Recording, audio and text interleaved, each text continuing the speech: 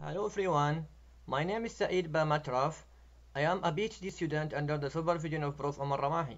Today I would like to talk about my research topic, which is developing a non-invasive continuous glucose monitoring system using microwave sensor with machine learning. There are three categories for continuous glucose monitoring, invasive, minimally invasive, and non-invasive. In invasive continuous glucose monitoring, a blood sample is extracted using a lancet. Typically, the fingertip is the most widely used human body part. In minimally invasive, measuring the glucose level is done by subcutaneously needle-type electrodes implanted in the body. In order to overcome the shortcomings of the invasive and minimally invasive continuous glucose monitoring system, such as pain, discomfort, and risk of infection, there is a desperate need for a simple, non-invasive, and pain-free continuous glucose monitoring method as it will make a major improvement in the field of diabetes care.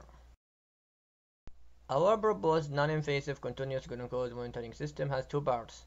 The hardware which is the microwave sensor to collect the data and the software which is the machine learning algorithm to analyze and predict the glucose level. As we can see from this figure, the sensor will send the signal to the human body and the reflected signal will contain the signature of the glucose based on the dielectric parameter interaction. Then this signal will, send, will be sent to the machine learning to analyze and predict the actual glucose level. Why we choose microwave? Because it's inexpensive, comfortable, non-invasive, and non-ionizing. Non-ionizing means that the molecular structure of the biological tissue remains unaltered because the microwave sensor don't produce ionizing radiation. After fabricating the spiral microwave sensor, we use it in experiment and simulation. For experiment, we test the sensor initially in water glucose solution with 9 different concentrations as a proof of concept and to check the sensitivity of the sensor to the concentration. For simulation, we designed a hand model with four different layers, skin, fat, blood, and bone.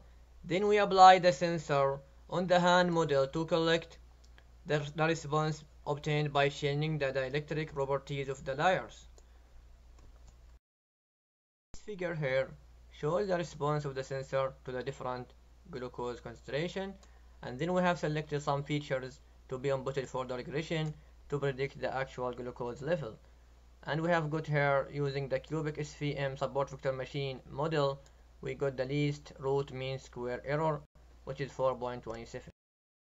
Also we have the fundamentals of the system. A lot of work still needed in the future, especially we need real data from humans as the device intended for them. I would like to thank all of you for listening to my presentation. Goodbye.